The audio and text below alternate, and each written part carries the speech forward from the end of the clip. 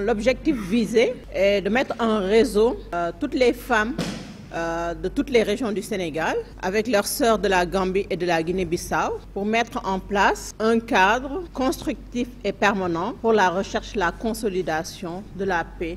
D'abord euh, dans la région naturelle de la Casamance, mais également euh, viser à être des acteurs, des médiatrices pour la résolution de l'ensemble des conflits communautaires au niveau des frontières au Sénégal. Nous félicitons euh, le président de la République pour euh, cette confiance, donc pour ce deuxième mandat. Et nous espérons que pour ce mandat, les femmes seront au cœur en fait, de toutes les actions, aussi bien au niveau communautaire, local que national. Et lorsqu'il appelle au dialogue, nous savons beaucoup d'exemples à travers le monde montrent que lorsque les femmes sont impliquées à leur juste valeur, dans la recherche et la consolidation de la paix, des réussites ont été trouvées. Je vais donner l'exemple du Mano River, mais exemple, l'exemple des femmes du Mali lorsqu'elles sont levées euh, de l'accord de paix euh, puisse se faire. C'est là où vraiment les rebelles et les euh, autorités, les djihadistes ont pu signer cet accord.